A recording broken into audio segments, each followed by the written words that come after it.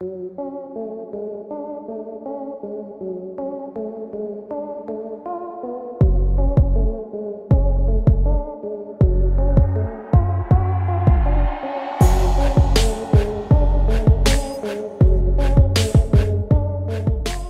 Alright guys, welcome to the channel. Right, today we got a bit of a kit for you. This one is from eLeaf and it was kindly sent over from Johnny at UK Vapor Brand, so big thanks for that. It's called the Ice iStick Mix Kit and here we are. We've got the Ice iStick Mixer mod there and we've also got the Ello Pop tank sitting on top. Now this mod goes up to 160 watts and the sub-ohm tank is rated between 40 and 90 watts. Right we're at the table then. So we've got the iStick mix kit from eLeaf, massive product warning on the front there. We've got social media on this side. On the other side we've got UK Vapor Brands authorized distributor of eLeaf and we've got QR codes etc on there. Contents on the back and another huge warning this is a sleeve and it just slides off like that. You presented with the black box with eLeaf written on it and a couple of bits on the back there for you. Right, inside you get a few little cards and goodies here. We've got uh, basically this thing here just says you maximum refill nozzle is 3.2 millimeters. Battery uh, safety card there. We've also got, what's this one here? This one tells you all about the different types of coils that you can buy for the uh, Ello Pop tank. We get a little baggie here with some gaskets and O-rings in for the tank. We get a quick start guide here. And we also get a more comprehensive manual which shows you all you need to know for basically the mod as well. But it does go into uh, different languages after about four pages. But everything you need to know is in there. Right, there's also a cable. Now, it's supposed to be a USB-C, but uh, they've sent me a USB-B cable here, so it doesn't actually fit uh, with the USB port that you can see on the device here. So a little niggle that one. I've got some USB-C cables, so it's not a problem. But we you can do balance charging with this device up to 2.5 amps max uh, quick charge as well. So you can charge a couple of 18650 in one and a half hours which I don't recommend doing. I always uh, recommend using an external battery charger but it's there if you should so wish. We do get another spare coil. This one is I think this is the N2 coil and you also get the M2 coil uh, pre-installed. They're both 0.2 ohms. Right let's have a look at the tank first then so here it is. This is the Ello Pop tank. Let's have a look on the bottom first. There you go. Just says Ello Pop. Usual markings. E-leaf there. Floating 510 with a peak uh, insulator surrounding it. As ever, I wouldn't advise using this on a hybrid mechanical device because it doesn't protrude and it's not adjustable. So it is a floating uh, 510 there. So on the top you do have a resin 810 fitting drip tip but uh, as ever we've got a couple of o-rings on so all of your normal 810s aren't going to fit in here. We'll just uh, see if I can find one lying around. Is one off the Kelpie but as you can see it's too loose so you need to find ones that have got the o-rings in the top. Quick look inside the top there. Excuse the moisture it's recently been cleaned so we've got a generous size uh, airflow hole there so we have got a little bit of knurling around the top. Now this is, you actually pull this one up and push it across the fill. Now there is a marker, you can just see there the arrow. So you can't just push it, so it has got a child lock. So you push, pull it up and then push it across to expose your fill port. Now you have got a gasket there. Like I say, all it's not a bad size hole this one and I haven't had any problems fitting it but your fine tip bottles are going to be the, the, your preference here so you don't have any danger of it creating a globule of uh, e-liquid and going everywhere. But push it back locks into place there's absolutely no way a child is going to undo that one. So that's uh, an awesome little touch. So we've got adjustable airflow which has got stoppers on both sides so we can have it fully open fully shut or anywhere in between and you've got the same happening on both sides as ever. To unscrew this is where you can change your glass O-ring around the top there, another O-ring there which goes onto your coil quick look at its gas. It's only two millimeter milliliters, I should say. You can just see there it's an extra thick wall because this is a TPD compliant tank, two mil capacity. I'm not sure if they do larger size tanks uh, in the rest of the world, but this is what we've got today. And let's have a quick look at uh, the coil. Don't want to go into too much detail, but it's basically a mesh mesh core for you. I have been using this for a few days now not uh, continuously as you can see there it hasn't gunked up at all but I have washed it out. We've got the familiar type golf ball thing going on in the middle which uh, uh, I'm not sure if it uh, adjusts the airflow makes it uh, uh, it restricts it definitely but um, it's in there anyway. We've got mesh and you got your cotton around there. There you go. HWM2 0.2 ohms 40 to 90 watts these are your wicking holes uh, ports here, so make sure you've saturated it with juice and inside there. Plug it back together and fill it up with juice and leave it for a good 10-20 minutes before your first puff, just to make sure that, coil is properly saturated. Right, let's go on to the mod now. Right, on to the star of the show then, the E-Leaf iStick Mix mod. So as you can see, we do have a, a, resin panel on this particular one, and you can get it in all sorts of various colours. I will put a caption on the screen for you. We do have the E-Leaf logo at the top there. This is the uh, detachable resin panel. Just have a quick look around it. The other side has got this more smoother finish uh, panel here. When I first got this, I was like, oh my god, this is going to not be to everyone's uh, taste, this particular pattern. But I do believe the other varieties have different patterns on the back.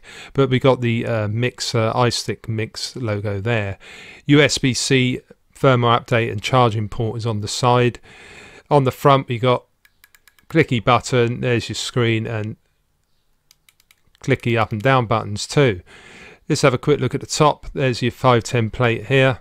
Now the dimensions of this, we've got 52 millimeters across by 27 uh, in diameter basically and 83 in height so it's a quite a short little mod this one is but we have got a spring mounted 510 pin for you and you can just see there a little bit uh, not on the smooth side, but I've had no problems connecting any atomizers.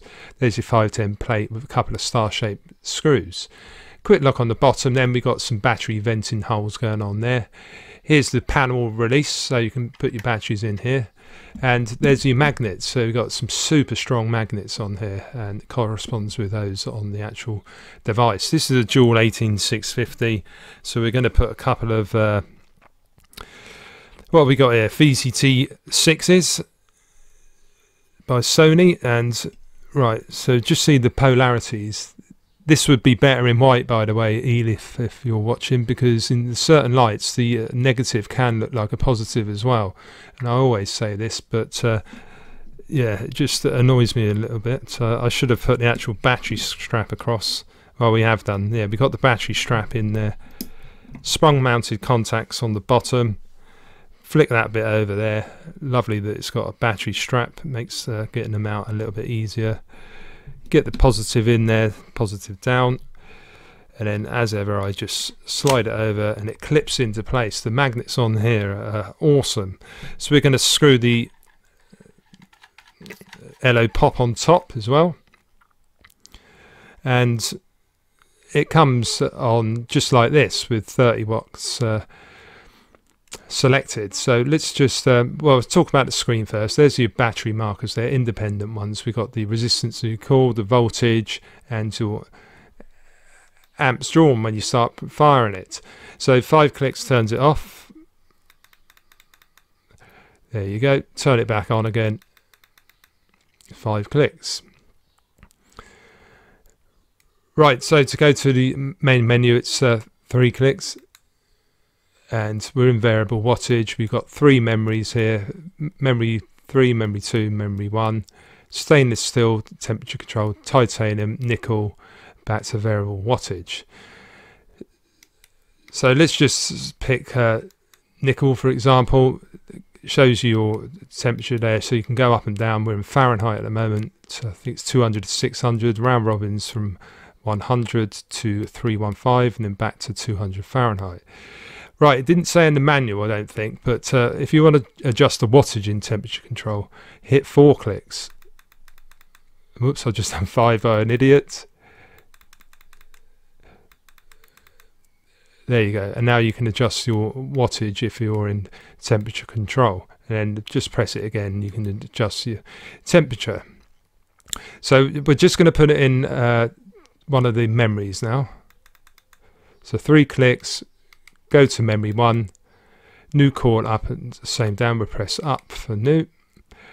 And if you want to select your TCR values, because basically this is in uh, temperature coefficient resistance mode at the moment, you select up and fire. This is the other part of the menu. You've got the joystick there. You can lock your resistance by pressing that button. This one here is uh, you've got puff time or amps uh, shown on the main screen. This one here is to put it in stealth mode, so just basically the screen goes out when you're vaping. Go across again, and you can't quite see it, but that does say uh, memory one to three. So if you click on that, and then you can select your memory that you want to go into, and then you can adjust your uh, TCR value. Now I've got that uh, stainless steel 316L somewhere around that 89 to 95 I think it is. And uh, then we've got the logo there. You can switch the logo on and off. I believe you can put custom logos on this. I haven't tried. We've got your version number there and your firmware. Across again we've got voltage left in your batteries. And then you get the back arrow here. And then we're back into your main screen so let's put it into wattage now.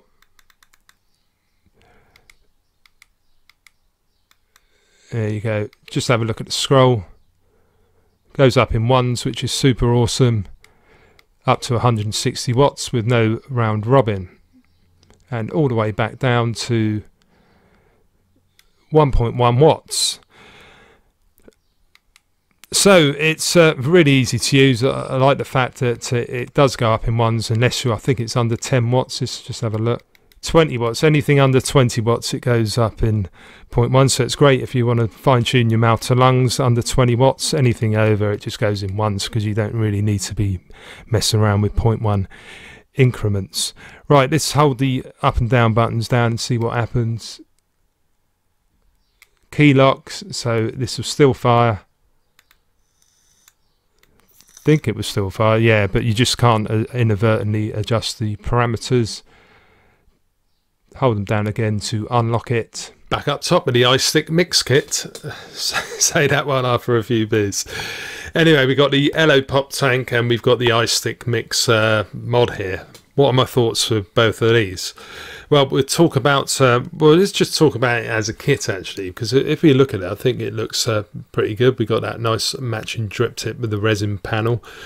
This side, though, is where it goes a little bit mental. Uh, I'm not so sure about the pattern on there, especially when we've got uh, this uh, particular drip tip on here. But I have tried to do some matchy matchies, but if you just put a black drip tip on it, it doesn't look quite so bad.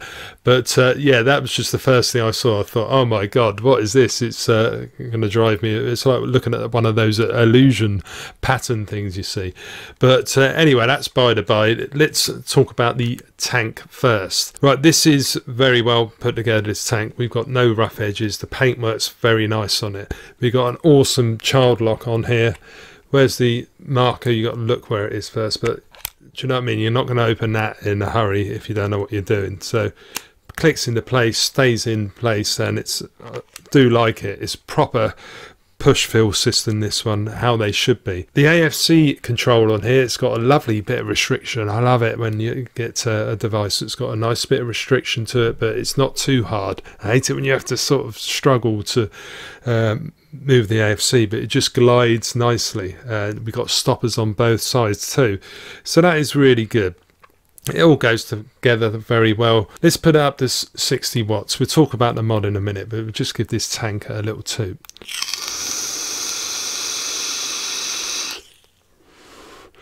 Right, we've got the airflow fully open on there. There is a little bit of restriction. trying to think what it is. Probably a six and a half to seven out of ten. So we have got a bit of restriction there because we've got that like golf ball thing in the middle of the coil. Now I've uh, seen those before. I think it was the Ampex I reviewed that had that. And I wasn't an avid fan. But this one works really well. We're getting a nice smooth draw from it. And that's with it fully open. So let's knock it off to halfway. A little bit more turbulent there. It's quarter open now. And it's too restrictive for me.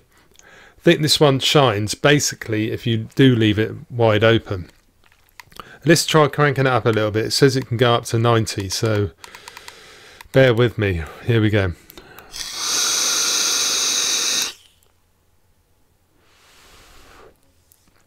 That is that is basically bordering on getting a dry hit. So put it down to 85.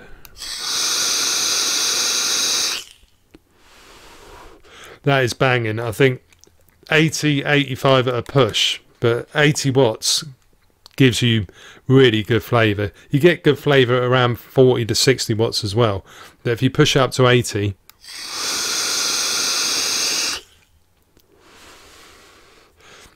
getting pretty awesome flavour on here. I'm, I'm, telling you, this one is actually comparing with the likes of the uh, Horizon Falcon and the Mesh Pro.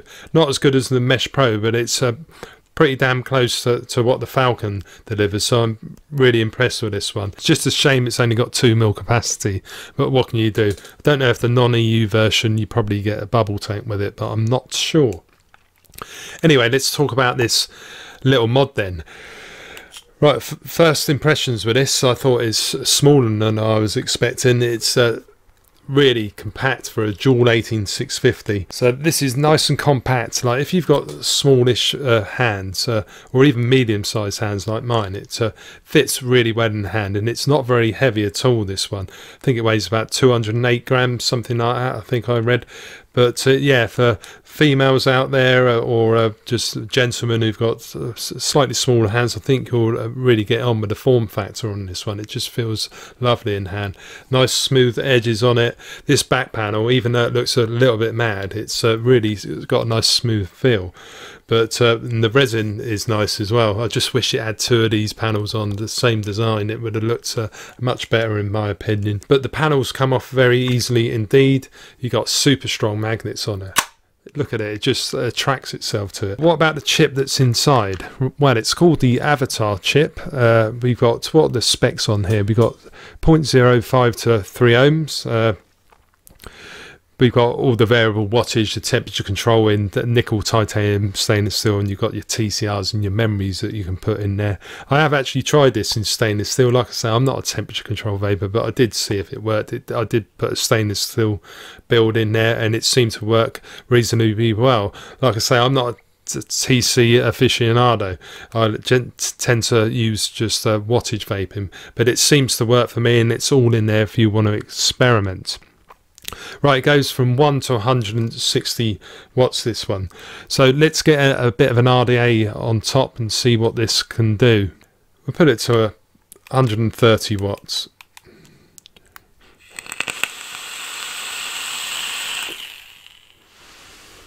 Right, I have tested this against my Modifine Lyra and drone the drone's got DNA chip. The mod defined is uh, it's got its own chip in it, but it hits like an absolute train. Now 130 watts. This one isn't uh, competing with it, but um, anything up to 100 watts, it's uh, reading quite a true uh, sort of value. But for the su super high wattages, it does go up to 160 as well. Just doesn't feel quite like it's hitting them, in my opinion. But for your regular vaping, anything from your mouth to lung up to like 100 watts, I think it uh, works like a, a champion. It is a decent chip in there, don't get me wrong, it's got all of those features in there. It's um, got a very nice board. I just love the resin panels. Uh, just wish it had two panels on it, but all-round device. Like if you're not going to, if you don't want super high wattage vaping, then I think this one is a decent little device. If you're uh, new to vaping or you're uh, transitioning from onto a pen style kit onto sub-ohm va- vaping. Like with the included tank that comes with it, you are not going to go wrong because this e-leaf uh, Pop is uh, an awesome tank. In fact, I think I'm going to keep on using this one. Just think it complements it very well. And for an all-round kit, I think you can get for 69.99 in the UK. It's a very good value for money. Now the battery life on here as well. I haven't mentioned that. It's pretty awesome actually. This is uh, lasted me over the day, like from a moderate vaping. If you're going to be chain vaping, you're obviously not going to get a day's worth out of it. But for a dual battery device, I think it's got a good battery management in it.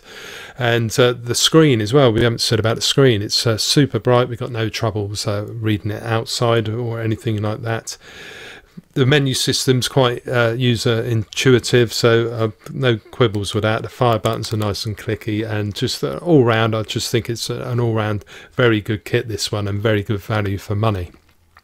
So big thanks to uh, Johnny at uh, UK Vapor Brands for sending it over for review. It's very much appreciated, sir. So if you enjoyed the review, please give the video a thumbs up. It's very much appreciated. It helps with the analytics of the channel. For anyone new that's watching, uh, consider subscribing too and make sure you hit the little bell notification. You'll be notified of all my latest videos. Now I've got my own website too. It's mfvape.co.uk and you can also find me on Facebook, Instagram and Twitter. All the links are below the video. So until next time, guys, thanks very much for watching, and I'll see you again very soon. Okay, cheers.